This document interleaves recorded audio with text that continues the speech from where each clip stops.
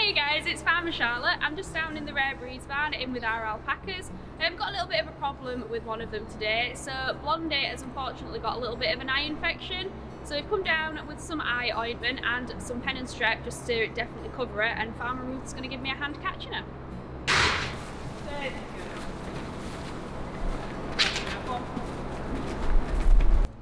Right guys, so we've got the eye ointment, so Charlotte's volunteered to hold her.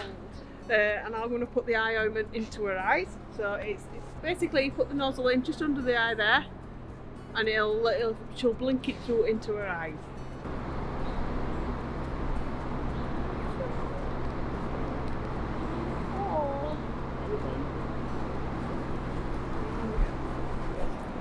So then guys, that's the eye ointment in, and so we're just going to give her an injection of pen and strep now. So we're going to inject her with pen and strep. Now that is a general broad spectrum antibiotic which will cover for anything. It needs to go into the muscle. So I'm going to use this muscle on her leg here um, and inject her. Have you got a hold? Because she might not like this. I know. And babes, muscle. if you look, young bit, Shannon is just keeping a, a watchful eye. Just trying to part the fleece so that we can see where we're going. And we've got it there. Ready? One, two, three. There we go. You're a good patient, aren't you? Good girl. So you never even flinched there, guys. So uh, excellent.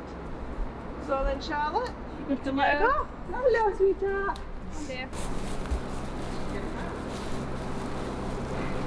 So we're going to have to do that for the next five days. Um, hopefully it'll improve, start improving before then, but it's just to make sure she finishes the course of antibiotics. Um, but hopefully she'll be a little bit easier to catch by then as well.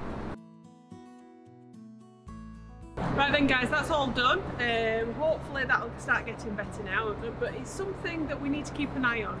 An eye, an eye condition can deteriorate quite rapidly, so hence why we're doing the injections every day and then obviously the cream in the eye.